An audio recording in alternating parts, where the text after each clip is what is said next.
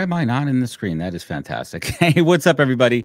Uh, welcome to the POZcast live. Uh, today is Thursday, the 16th of November. I can't believe we're even here, but let me welcome my guest. Let's bring him on, Mr. Jason O'Mara. Jason, welcome to the show.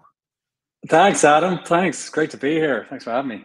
Thank you so much for joining us today. And for everybody who's not familiar, my guest today on the POZcast is Jason O'Mara. Jason is an Irish actor currently living in LA. And after a period of starting his career in Dublin and then London and working in some of Britain's finest theaters, Jason came to the US to exploit everything here, take all of our money and women. No, I'm just kidding. Correct. Um, correct. Uh, you might recognize his younger face from one of my favorite shows of all time, uh, HBO Band of Brothers. Uh, since then, it's become a uh, a presence on American and international screens, both big and small. Nominated for three IFTA awards in 2023 for Smother, 2018 for Marvel's Agents of the Shield, great show, and winning the IFTA for Best Supporting Actor in 2017 for his role in the Siege of Jadotville. I've, I've not I've not seen that one. I think I need to. What's what's that that's one? That's an interesting. Yeah, that's a good one. That's that was that's on Netflix, um, and it's about the only Irish foreign Irish conflict in the 20th century in uh, the Congo. That's an interesting one. We're gonna have to check that out. And for anyone with kids out there or or are um, DC fans, he voices uh, Batman in the original animated movies and Zeus in Netflix's animated hit show Blood of Zeus. Uh, he's an ambassador to Movember, uh, something that is near and dear to my heart, and I'll get that into in a little bit. And we're going to talk about his own journeys through mental health and sobriety. So let's get into it. Oh wait, wait a minute. I, I, hear you have a new movie out. What's what's that all about? Your Lucky Day oh. is out. It came out last week in theaters and yeah. on digital. Uh, we're going to get into that. Jason, officially, welcome to the POZcast, sir. Thank you, thank you, Adam. Thank you for that introduction. Wow, that was uh, uh, almost embarrassing with the no. uh, plaudits you were laying on me. Thank you. I, I don't think that gets old. All right. So before I get into your history, I, there's a question that I need to ask you. So, um, do you watch Yellowstone? I, I, I know of Yellowstone. I find it hard to watch because there was a part on it I really wanted and I didn't get. This is the problem with actors. You see, we can't watch the things that we didn't get jobs in. Well, some of us, and some of sometimes I'm in a generous mood and I'm like, yeah, I'll watch your show, even though I'm not a part of it. But yes, I know Yellowstone. Sorry. I, I so so one one of our there's there's two characters in there that we love, Rip and Beth, and and I found out that Beth is an Australian actress, and it got my wife and I to talking.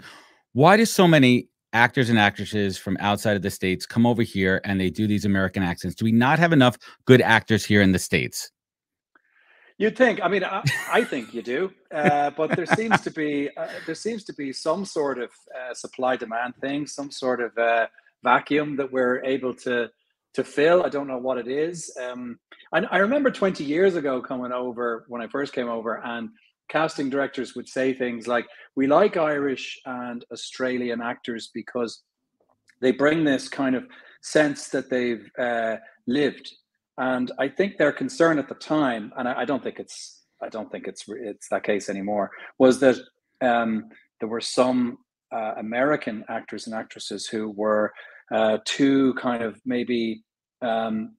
Mollycoddled or to you know uh, I, suppose you could put it down to air conditioning uh, too much air conditioning and, too uh, much air conditioning. and so and so we had a kind of more of an outdoorsy you know edgier feel maybe but is i don't it, think that's true anymore. is, is, is it is it hard to turn the american accent on or are you turning certain elements of your accent off? How does that work from a technical no, it's, perspective? it's, it's definitely something well look my accent has morphed over the years because i lived in london you know for eight years before I came to the states, and then when I was in the states, I lived on the East Coast for eight years, and so on.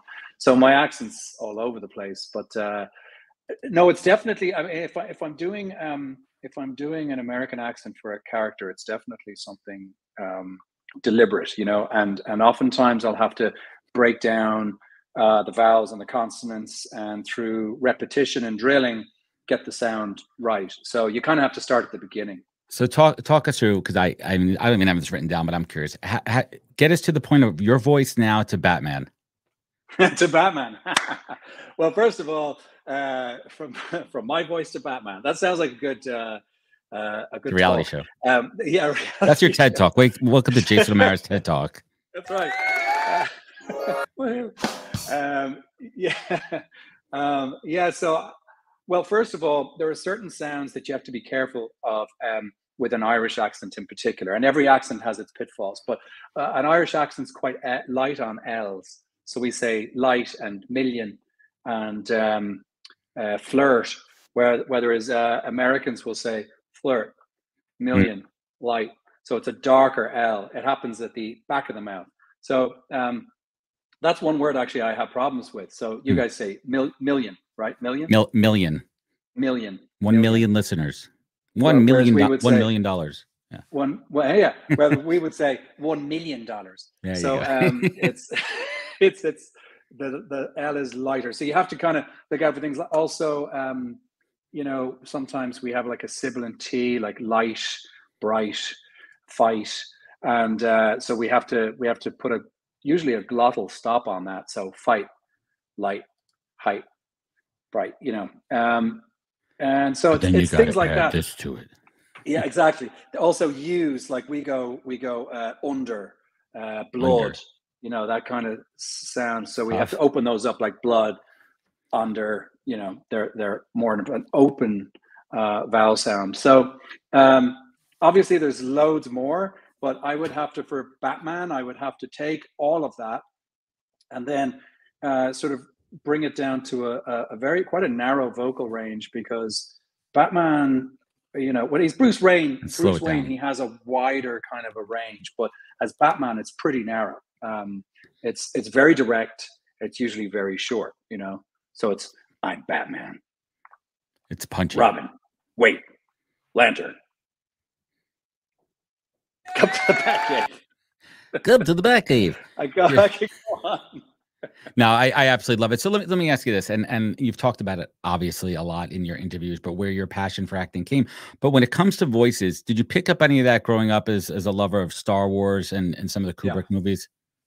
Yeah, in fact, I used to, I used to uh, sort of as a child. Once I figured out how to record onto um, onto tape, you know, like magnetic tape, uh, audio tape, I would uh, act out you know scenes from Star Wars myself, doing all the voices and all the sounds. Um, and when I was playing with my Star Wars figures, I would act out entire plays and movies, and uh, and then with my son, I would do that also with his toys and him. He always got a kick it. out of that. And one of the things we would play is Batman. And so when I got the actual, uh, and I was highly influenced, obviously, by Kevin Conroy. And so when I got the an opportunity to play the role, it was literally like oh my gosh, you know, what a wonderful crossover where I, I bring my dad in to this Batman, you know, role. And what sets my Batman apart is that he's a father to Damian. So um, it was this fantastic sort of fusion of uh, life and art and it all it all comes full circle but let's let's talk about where it started and people have this this conception of a of a struggling actor um out there. What was what was your journey like, and and and paying your dues, and you know all these kind of gigs here and there, and and and wacky commercials. Tell tell us your journey. well, I uh, I I played a waiter. My first job in London when I when I moved there, uh, I played a waiter, so I didn't have to be one in real life. Um, That's a good idea. Uh, you know, so that was that was kind of the first you know theater job I took, so that I could um, make ends meet. It wasn't a great role, but then um, I I also did uh, the crossword results hotlines um, for five pounds an hour. I'm not familiar with that over here. Well, in the nineties, you might just like a help, 90s. like a help, like a help desk for crosswords. Is that what it well, was? In the newspaper, they would publish the crossword, right. right? And for the answers, you would have to call a number, and on the number would be a guy going, "Hello and welcome to the Daily Whatever Express." Uh, results hotline. Here is the answers for all of the down clues. One, zebra. Z A B R A, whatever. So um, all day, all day. I would do that all day, and I would come away with whatever fifty quid for the day, and I was very happy. You were you, you were happy with that. So so what was your what was your breakout role? Well, I I did a season of plays in uh, Harrogate Theatre, which was followed by um, uh, a BBC series called Berkeley Square, which I did with my good friend Victoria Smurfit. We met on that, and uh, she's an actress, and we've been friends ever since. And that was, I think that was probably my first leading role on TV. I was very nervous for the audition. I thought, I'm going to blow this with my nerves, but I managed to just hold it together. And it was one of many series that I would do that wouldn't be picked up and mm. go hmm. to a second season, but it was just enough to kind of get my foot on the rung of the ladder. Was let, let's talk about the struggles. What's what's uh one of those gigs that you uh kind of hope just stays in the archives buried somewhere was it a commercial was it some weird kind of amateur adult film kind of stuff but i mean you got you got the mustache now and for everyone out there that is not a porn stash that is from november we're going to get into that in a minute i'm doing mine a little bit differently right. we'll get into it i'm you know i got i got it going on but we'll get there yeah so, yeah yeah everyone has those roles those I, I did it for money i did it for the money yeah there's look I could argue that I've done loads of those, and I should be more ashamed of them. but I, uh, I, I suppose there are a few that look. There are a few that really underperformed. Like I did a, I did a movie called One for the Money with Katherine Heigl, and mm. Like the critics hated it. It's one of the lowest movies on Rotten tomatoes. Is that is that because of the actual movie itself, or for the reputation that Katherine has? And please, I have us. no idea. I have no idea, and I'm I, am i am not going to say anything about that. But um, I, I I I really think they were a little harsh on it. It was a it was a cute movie, and and some people have seen it and actually really enjoyed it. So um, I don't think the critics were entirely right with that one. So so no, I'm mm. not completely ashamed of that. I did an episode of uh, Criminal Minds once, and looking back, maybe you know maybe we shouldn't have done that one. Were, were, were, you just the, the dead person under the sheet? Did you no, die in that movie? Worse. No, it's a lot worse, Adam. Keep going. Uh, you, you, were you were I yeah you did something. You were the killer. What did you do it in that? One? Sex. Ah yeah. With dead people. Oh, a little uh yeah hmm yeah, yeah. we're gonna we're gonna we're gonna we're gonna we're gonna we're gonna we're gonna leave that one there. Uh, in the sound. We're gonna we're gonna we're, we're gonna you're yeah. asking the questions. I'm giving you the answers. I I, I am. Wait. So so let me ask you a question. You've died in in movies and shows before, right? Mm-hmm. How do they coach you? How does that process even work? I'm trying to be, not to be morbid now, but while we're on necrophilia, let's just get into it. Um, how, how, do you? It took me like a minute or two to remember that big word from my my dictionary. It's a good word. I mean, what's that process like? What's what process like? Dying on film. Uh, I'm asking all the questions I've always wanted to ask. It's not nothing it's even actually, I've written down here. Nothing I've written down. First of all, I actually, I actually, a good death on film. There's nothing better. Like it's, it's, it's one of the great things to do as an actor. You know, I had a glorious death as, uh, as the Patriot in Marvel's Agents of Shield, and everyone's, you know, the whole cast is crying, and everyone at home watching is crying, and you're just like, yes, this is fantastic. Jeez. Um, but other than that, um, it's it's kind of I tell you what, it's a lot easier to die on film and television than it is to die on stage because you, you know you heard that expression corpsing. Uh, no, I have not. Please elaborate. So, it, corpsing is is a is a theater expression, and it's what happens when you start laughing uncontrollably oh, no. on the stage, oh, right? No. And uh, it's like when you're. Oh no! And you, you have know, to hold it in. Yeah. Yeah. Like a mouth, like a mouth fart. Yes, exactly. Yeah, that kind of stuff. And you're like, oh God, I can't laugh now, but I have to laugh. Well, that that term comes from um, dead people on stage starting to laugh, and you can see the bodies kind of, you know, vibrating, no. um, laughing. They're corpses, but they're not. So it's called corpsing, right? So um, it's that's probably harder to die on a theater stage, especially deep into a run and stay absolutely still without laughing is way harder than doing it once or twice on film and TV. The problem with film and TV is, yeah, once you're dead, you sometimes have to lie there for days while the rest of the cast come along and inspect the body and the blood splatters. There's a lot going on. You're just on lying there dead for days. All right. You know? Can someone can someone give me a water while I'm lying down here? Oh yeah, yeah. Get a little parched. And yeah, I need to there's, check my emails. There's no bath. There's yeah. no bathroom breaks on that. So, so thank you for giving us a little inside the actor's studio uh, on that one. Before I get to the the current work that you're doing right now in Movember, is there um the what's the role that got away from you? The big one. Maybe it's a big one. Like, did you lose to to to to Kevin Costner and something? Like, what? I'm still on a Yellowstone kick. Sorry. Kevin Costner wouldn't be one of my no.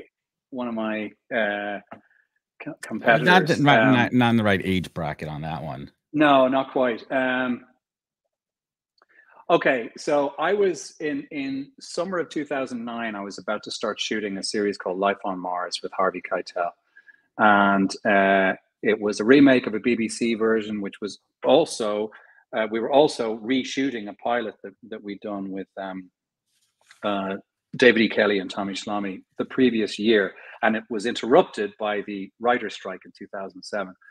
Um, and we were coming back to shoot um, Life on Mars, and I got a phone call from a friend of mine, director friend of mine called Rob Bowman, who was about to shoot a uh, presentation, which is half a pilot, for a little show called Castle, and he was asking me if I was uh, if I was available, and um, I said no. I'm about to shoot Life on Mars. I'm sorry. Uh, I hope I'm not betraying Rob here, but um, but anyway, um, I said listening. no. I'm sorry. I'm sorry, I can't. I'm, I'm doing this other thing, and I, I and I didn't know what Castle was, but I thought, kind of like with Grey's Anatomy, I thought, ah, that'll never be a hit. it's all, it's only been on my entire adult life, right? Yeah. So I was unavailable, and guess what? Um, the right guy got, did it in the end, Nathan Fillion, and it ran for years, and they had huge success, and good for them, Adam. Absolutely. And I got to ask you about Band of Brothers too. You were you're only in a handful of episodes. Um, but what was yeah, that? First experience? two. I mean that that ca- I mean, well, the ensemble cast was was for the entire series, but that was quite a production. Did you know what you were getting yourself into? That that would be such an iconic.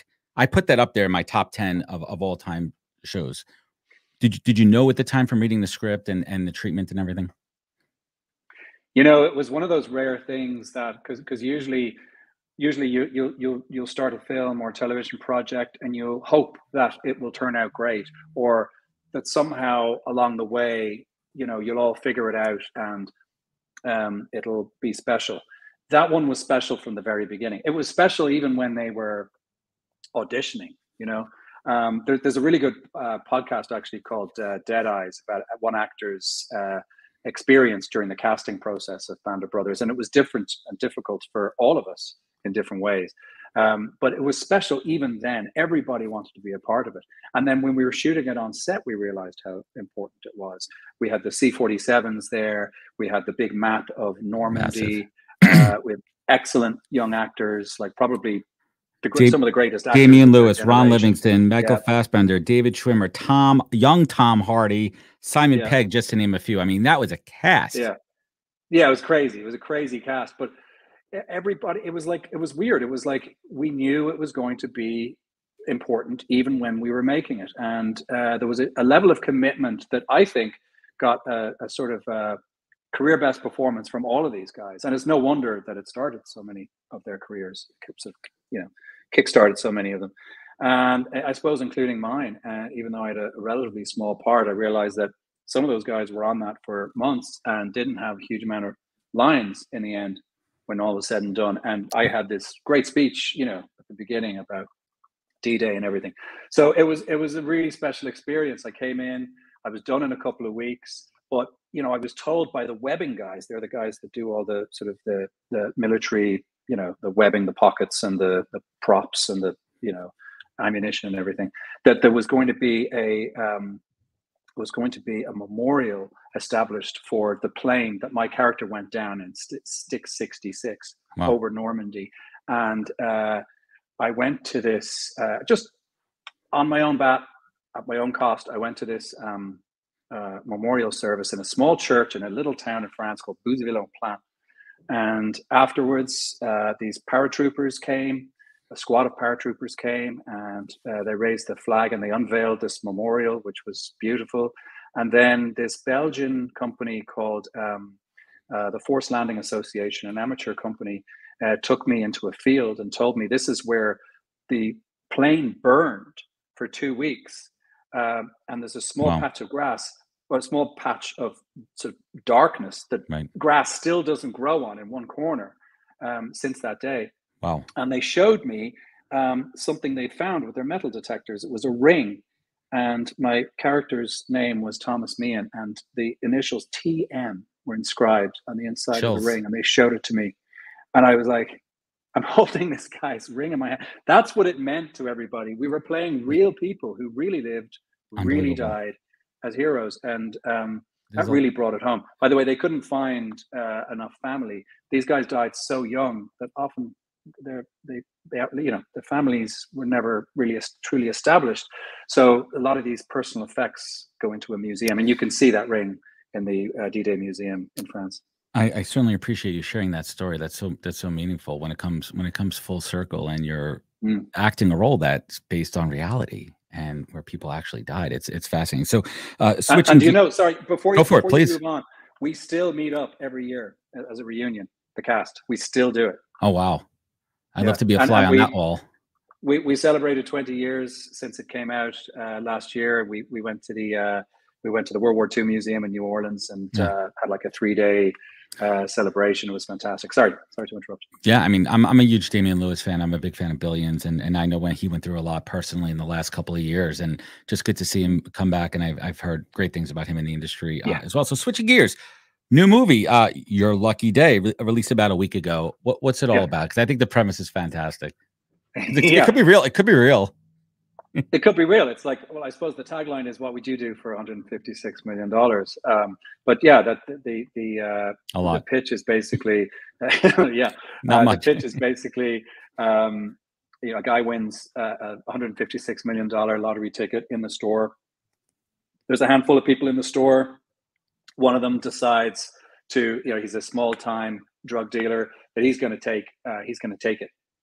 But there's a young cop in the bathroom and he comes out and a firefight uh, a firefight happens. Somebody dies. Actually a couple of people get hit and it's like what do we do now? Do we lock the doors and try to figure this out between us? Do we call the cops? Do we do the right thing? Or or do we make a deal? So it's kind of interesting you, you'd hope that you would do the right thing in that situation but you don't course. know well yeah, you I mean, if you, you, know, you don't know what you would changes. Do. Right, Every, everything, well, everything changes, changes when you've got a gun pointed at you, right? and and and and a shit ton of money in front of you. A lot, a yeah. lot could change there. Um, yeah. how do you, how do you feel about the finished product and and people's reception to it?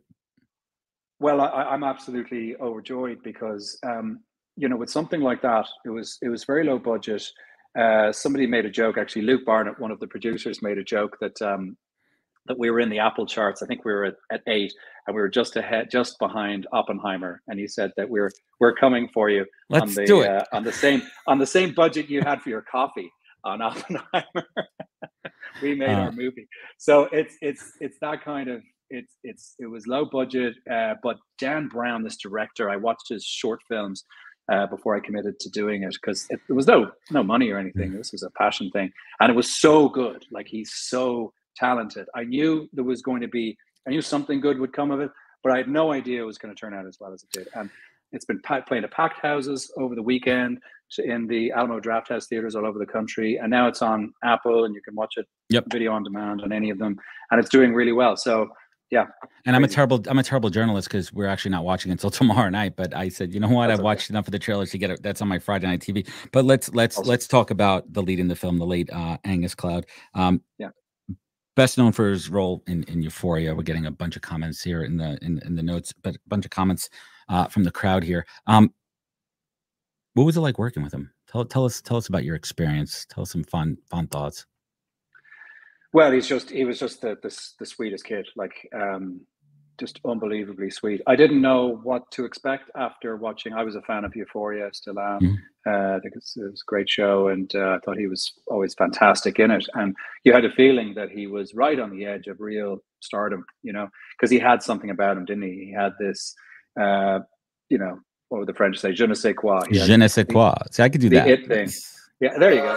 Uh, no, he had the he had this X factor, right? Um, and he also when you meet him you kind of go oh i get it now. He's also really really sweet. So he's incredibly talented. His stars on the rise and he's a lovely kind human being. So uh, that makes it all the more tragic obviously.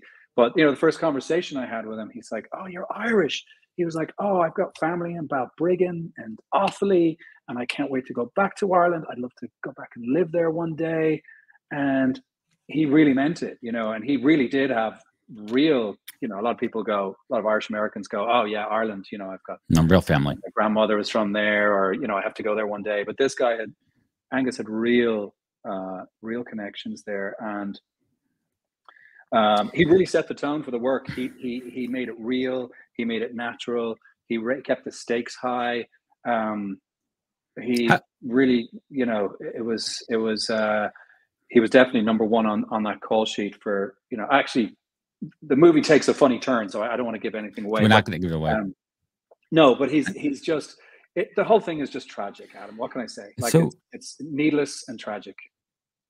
As someone who yourself has embraced sobriety, were, were, there any were there any signs? Did you see things? Were, were there indicators that things something was wrong at that time?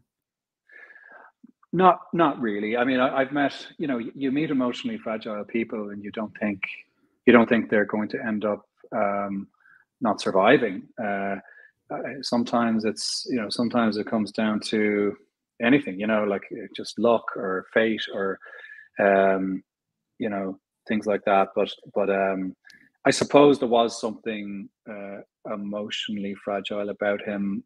If you really looked into his eyes and the way he talked, and he was a very gentle, sensitive person, you know. And it's the gentle, sensitive souls who seem to be um, more susceptible to uh, to addiction and um, and uh, you know dealing with real challenges in their lives. So um, I don't know the full. There's there's uh, out of respect for his family, of course, who, of course, who um, who have not fully decided on the cause of death.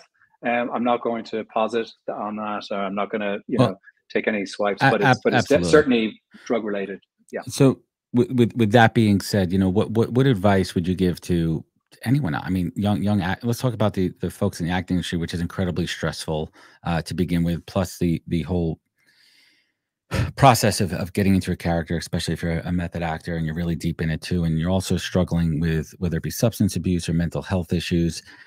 I mean what could allies do to keep an eye on on their friends and family? Well look i mean um, i think we have to kind of rewind this and go back to real basics you know? Um, and obviously this is something we're, we're trying to do with Movember, right? Um, there, there's the, the the main thrust of the message is to is to communicate, is to start talking, is to reach out, is to start the process of processing. You know, to get this stuff hmm. moving, to talk about real things, to develop deeper relationships.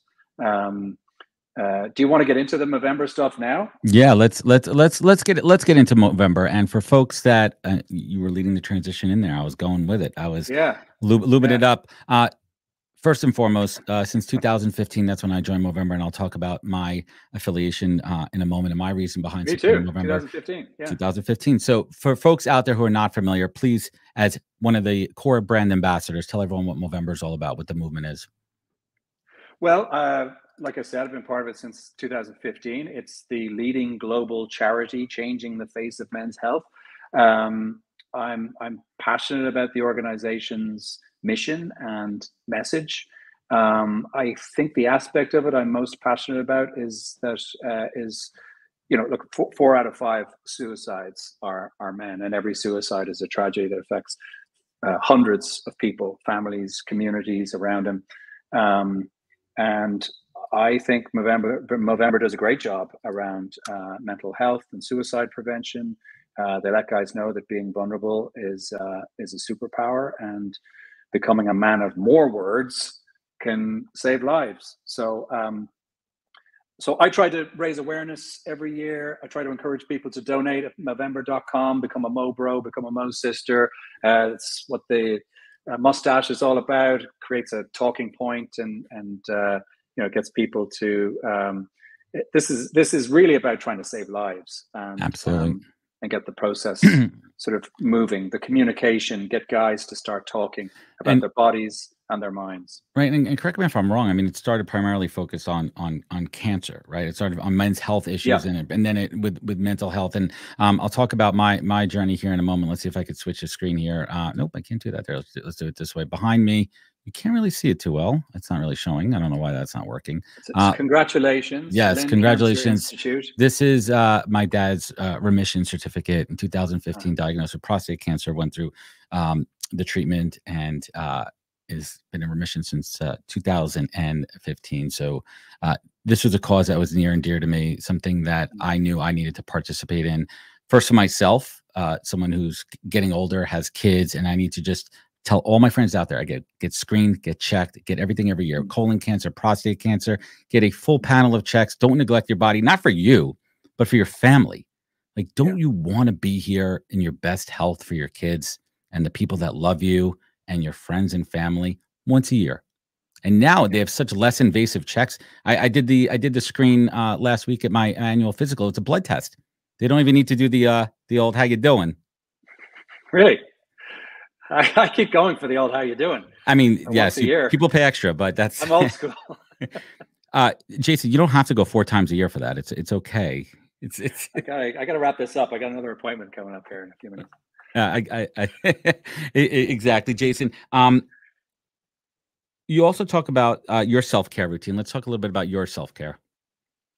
Uh, yes, and by the way, just just to add on to that, uh, 2015 was also the, the, the previous year I lost my um, stepfather to stomach cancer. So I think that's part of it too. So I, I do uh, completely hear you on that. Um, and with my own journey, um, and I think that's why Movember speaks to me so much. It's like obviously there's the cancer part, but also the the mental health part. Um, yeah, I, I look, I, uh, I, I'm Irish, so I drank a lot, and um, uh, I was brought up sort of Irish Catholic, um, and, uh, and and we all kind of we all kind of drank a lot. Uh, all my friends, um, you know, everyone I knew. It's what, it's what you was, did growing up. Yeah, it's what we did, and uh, but, but by the age of my father got sober when I was about seventeen. Uh, obviously, never forget that, and then uh, I decided I needed help at the age of 22, and my father brought me to my uh, my first meeting, um, and and that kind of began this journey, you know, that I've been on ever since. And uh, obviously, it saved my life, and um, I, you know, opened the door to all kinds of um, uh, ways, techniques, methods, practices that uh, I would later employ kind of um, by fusing them all together into a sort of a daily routine that continues to make my life better and happier and more joyful. And so that's really what it is. It's a journey, you know, it's a journey. It's not a destination, but it's, but it's, but it's, uh, it's something I couldn't have done if I'd kept drinking and using. You know. Well, kudos to you. And I, am curious. You said your your dad sobered up when you were 17. Yeah. How much of that of his like his personality and who he was changed for the better and for the worse? I'm always curious too, because some people are happy drunks, some people are angry drunks. I mean, what was what, what was that like? If you don't mind sharing a a, a bit personal, if you don't mind. Yeah, no, he he was very quiet for the first year, um, and uh, while he did exactly that, sobered up, and then uh, then he changed profoundly. And you know, he he meditates every day, wow. twice a day for the last oh god, I don't know, thirty years, maybe twenty five years. Um, so he's become a huge uh, benign force in my life, you know. That's fantastic. Um, and we didn't always get along, and and we still have moments now because we're both human. But but you know, I, it's given me the opportunity to have this amazing sort of um, relationship with, with him that I never thought I would have. Because when I was in college and drinking, man, all we did was fight. You know, all we did was fight, and it was it was it was making me miserable. But um, but through sobriety, we have this connection now, which is uh, which is amazing. That's that's incredible. And one of the big parts of of sobriety, obviously, the big part is saying no. Is saying no and saying no to temptation, saying no to uh, other other pressures that are out there. Um, how, how did you learn the power of saying no? Uh, well, it's, uh, I suppose. Sure, it's I'm a lot of trial and error. yeah, but I'm not big on willpower, Adam. Like I, I, I don't, I don't have it, you know. And I, I know on your podcast you have a lot of extremely successful people who, who seem to have just willed and manifested success into their lives, and I really admire that because I, I don't have much of that. Um, yeah. But uh, so I had to call on sort of another power. You know, I, I have a I have a higher power in my life who I'm able to hand stuff over to. Um, anything I can't handle, I just let it go and hand it over. And through that, um, kind of strangely, ironically, um, I do have some power. You know, so it's uh, until I found that I kind of struggled, and not everyone can find that. You know, and and I'm not um, listen, I'm, I'm, a spiritual person. I'm not a particularly religious person. What do they say? Um, religion is for people who want to avoid hell, and spirituality is for those who have already been there. Something like that. I like um, that one. That's that's a new one. I like that. Yeah, yeah. So I, I I don't, you know, I have no opinion on on religion or or even God, but I just have this relationship with something inside me, my higher self, my my deeper self. Um, I think David Lynch calls it the unified field. You can go the science route, but you could also go the more spiritual route where there's something, you know, call it your soul, something that connects you to the universe. And that's that's it for me. I, I, love it. And these conversations remind me of the conversation I had with Kevin Smith, a great actor and director, uh, Kevin Smith, uh, yeah. New Jersey native Kevin Smith. And we talked about uh, one of my favorite movies of his, Dogma, starring George Carlin. George Carlin, my comedic hero as a priest. And I asked Kevin Smith, what was that interaction like with George Carlin? He said George Carlin absolved him of religion. And I was like, whoa, okay, now we got to get into this one. So I went down a rabbit hole of religion with Kevin Smith. And afterwards, he said he never talked about that ever on any interview. And it was like, whoa, yeah. okay. I, I, hit I hit a nerve there. So switching gears a little bit, we only have a few minutes left. Um, let's talk about the power of no with wow, the SAG strike. Way. Right, you, you have a hard stop at, at two, right? Yeah, yeah. Sorry. I'll get I'll get you there. Um, the SAG strike just ended. Uh, congratulations. First of all, talk to, for industry for people out there. Like, let, let's let's talk about your side and people like, oh, these these fucking actors are making all this money. What are they bitching about? Yeah, and like, no, no, no, that's not what it's about. I'd love to hear a perspective from an actual actor in SAG. Sure. Yeah. Well, um, look, I suppose the, the number one thing that we were striking for, and I suppose the writers were striking for as well, is residuals. When uh, the writers did a deal in 2007, they kind of uh, they kind of uh, sidebarred residuals on new media, and so SAG did the same at around the same time. And what happened was new media became everything we now know is streaming, right? Uh, Netflix, Apple, Amazon, Hulu, all the things, Disney Plus, everything. It's not, like it's not even the future; it's what it is. It's this is. It's what it is. Now. It's what it is. It's, it's, like I mean, who still has a cable subscription? Subscription? I don't, but okay, you do. Like for uh, live but sports, not, but I got to get rid of it anyway. Sorry. Not maybe not forever, but um, so the so the everything has changed. You know, um, everything we know about broadcast television has changed, and and we'd kind of kicked that can down the road with that because um, we didn't really have uh, proper residuals agreed upon for anything that was new media, which was all of this. And by the way, I, I think that because of that loophole, that's exactly why it was exploited, and that's exactly why we have streaming. But that's just personal uh, right and, and, and, think about right all these old shows are just pumping back out on i mean look at suits for example. The show was was mediocre on back when it aired right? Sorry i, I watched it right? It's fine. But then all of a sudden during the strike they put it back up there and it's almost like I, I don't know what the relationship is from a residuals but they're pumping it and millions of people are watching it. It's important yeah so yeah exactly so so so we were going to we, we were striking for residuals uh, with all the new media stuff um, all the streaming stuff. And then the other thing, and there was a couple other things too, but the other big one was AI, right? That's what I wanted to talk if about. If anything is going mm-hmm. to affect AI, it's actors right. and anyone, anyone in performance. And you're around the technology of it. Like, I mean, you've been involved in productions with deep CGI and like the, the ability to deepfake replicate voices and literally take your face and your voice and, and use technology. They could basically script the whole movie with just one minute of your time.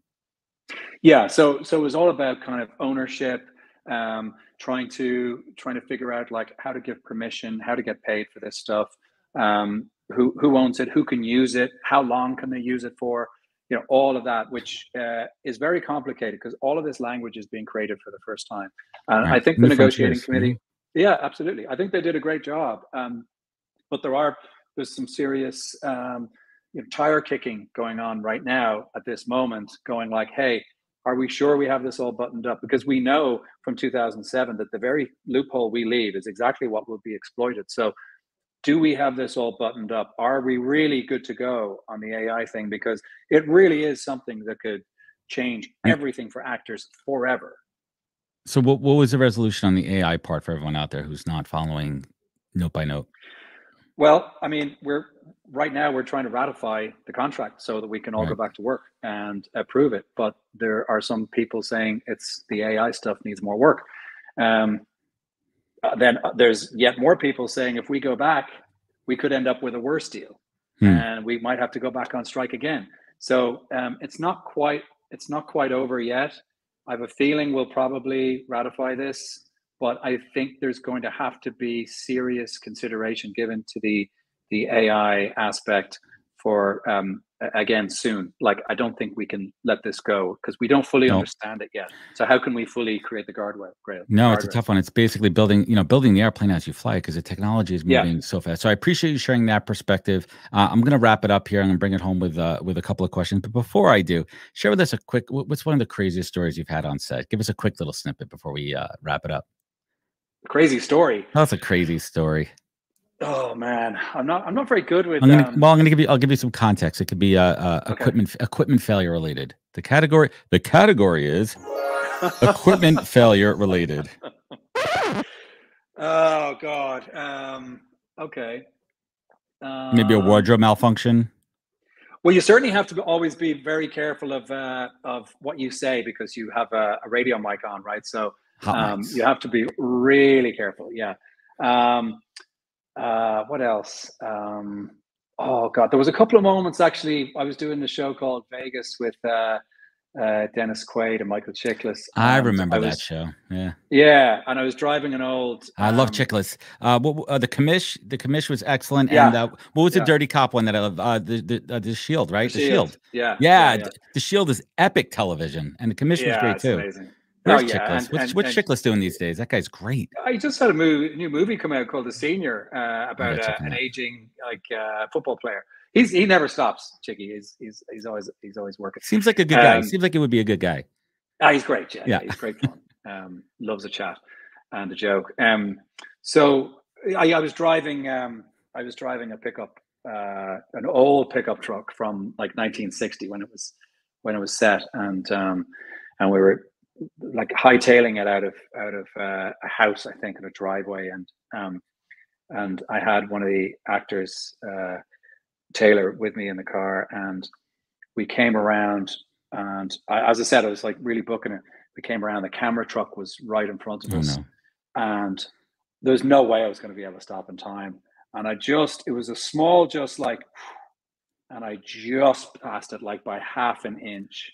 Near miss. And really, really scary. Like it wasn't. We didn't report it. it. wasn't an incident, but it was so close to being like a big, big effing deal that you know shit like that can happen. And um, no matter how you allow for it on set, like stuff can happen. Accidents can happen. It's, it's so, dangerous. Um, yeah, yeah, it is. It is. But that's. I'm sorry. That's that's the best. Like. All right. Let's let's. All right. That's that's good. What, what, do you what are you watching on TV these days? I am watching uh, the Fall of the House of Usher. we just fi- we just finished that. It is okay. So I'm only halfway through. Don't I'm, tell I'm not giving it away. I'm not giving away. And and uh, and and the other one we just finished is the miniseries, All the Light We Cannot See, based on the book. Yes, I want to see that too. Um, full disclosure, Kate Kate Siegel and Mike Flanagan on Fall of House of Usher are friends of mine. So uh, uh, please, they're please, they're amazing please, please tell them personally that Adam said you guys did a great job. We love Adam and Alona yes. love the show. Thank you. I appreciate that. I um, let's let's bring it home here, Jason. Jason, I ask all my guests this question over 302 episodes of the show. Jason O'Mara, what is the single greatest piece of advice you've ever received that you take action on every day? Uh can I do two?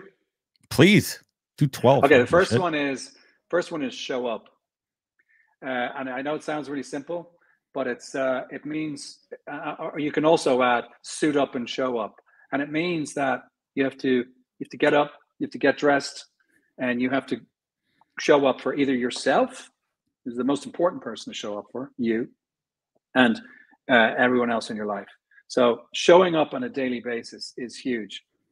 It it it, it compels you to make connections with people and to be there in person um, anytime I've been kind of, I've been, you know, my mental health hasn't been right, or back when I was drinking, the last thing I wanted to do was show up. I didn't show up. I locked the doors, I pulled the curtains, and I sat in darkness, and I didn't want to interact. So I know when I'm isolating that I need to show up. So that's a simple one. The other one was something Harvey Keitel uh, gave me, uh, I remember talking to him about how nervous I was about how the show was going to be received and the critics and um, under pressure from the network and all these people that thought I couldn't do it. And he looked me in the eye and he said, just do the work.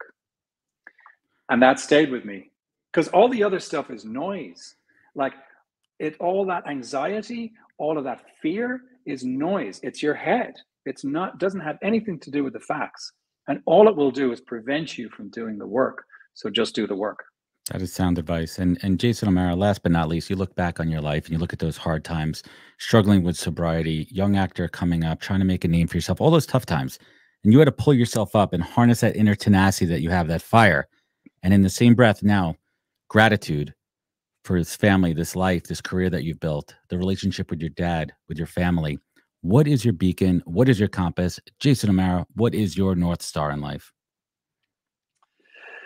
Well, um, I think without without hesitation, my higher power is what guides me, and uh, in order to listen to that, I have to be quiet. So uh, daily meditation is is the prescription for that, um, and through quietness, I hear that I hear that voice. Through silence, I hear um, uh, that benign, loving voice. So it's it's definitely my higher power. But pretty close behind is my son David, who I just adore and uh, I show up for him. He shows up for me, and um, he's he's doing film school right now down awesome. in uh, um, Chapman University down in Orange at the uh, Dodge College Film School. He's doing the director's program, and I'm very proud of him. Uh, so yeah, he's he's up there too. Awesome. Well, Jason, I want to thank you so much uh, for joining me for the past hour, my audience here. Um, I appreciate you. Thank you so much, everyone out there. Check out Your Lucky Day, which is out now in select theaters and digital. And please, please, please support Movember. If you see see us dudes with the stash that don't usually have a stash, it's probably for Movember. And ask us about it. And you can get involved. It's not too late at Movember.com. M O V E M B E R. Jason, I want to thank you. I appreciate Boom. you. I appreciate your time.